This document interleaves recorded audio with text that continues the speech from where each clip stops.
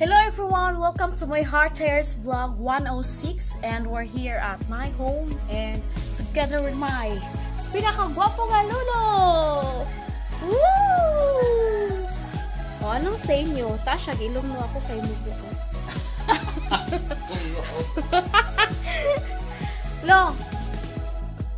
Unsa man jud lo, gwapa ko de. Suma, di mo? Lo, pwede na rin. maguyab-uyab lo. Ikaw rin mo dyan sa imong kaugalingon. Charot, maikog ta sa judge nga word, oy. Asa man na nimo napunitan lo? Asa? Kanang judge nga word. Ha? Asa ang punitan eh, suok. Bitaw lo. Lo, pwede na ako maguyab-uyab lo. Ano sa pamili ka? Bani mo, gawat ra mo ko kan kan sa ka musubot ko maguyab-uyab. Suma, di mo? Di na magka...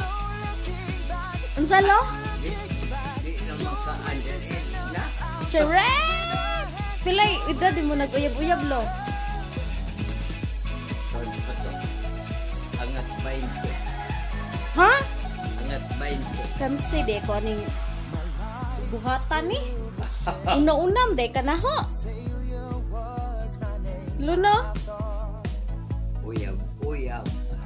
Unsa may imong kaingon sa mga nag-uyab-uyab karon na. Nganong lahi naman pod? Yan ang uwan. Ha? Madanas kilo-kilo.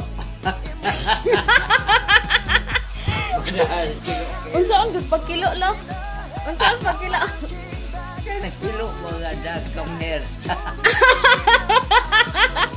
Mo na imong gibuhat ni Lula lo? Lo, mo na imong gibuhat ni Lula? Kilo-kilo nga adang come here. mo de na imong sikreto ha. Ala. Na na ana jay sikreto na reveal ni Lolo today. Pag sure da lo. Ora. Ay, nako mo. Trapo di si Lolo. Ay, interview mo na. ay. Oh, guys. Mo na sikreto ni Lolo. Kilo-kilo nga dang come here. Oh, basin gadahan mo mo apply ana. Ito, uy. Sus ko ginoo ni si Lolo, uy. Believe ba? Hurot ako believe di mo, lo. Kilo-kilo nga dang come here. That would be all.